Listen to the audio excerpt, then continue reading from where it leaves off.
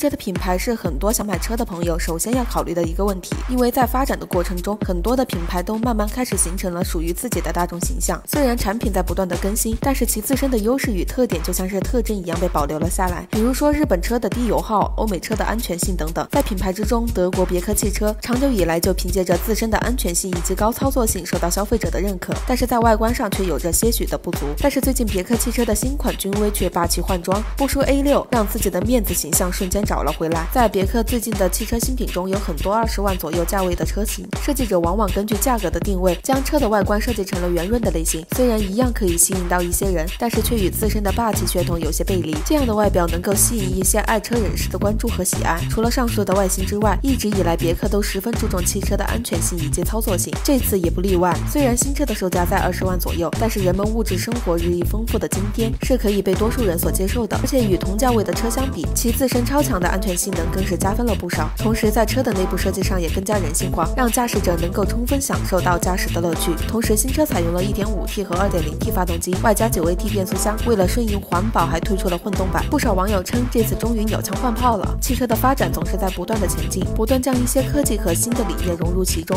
每一次新品的发布，不仅仅是商家的一次实力的展示，同时更是为消费者提供了广阔的选择空间，满足消费者的各方面需求。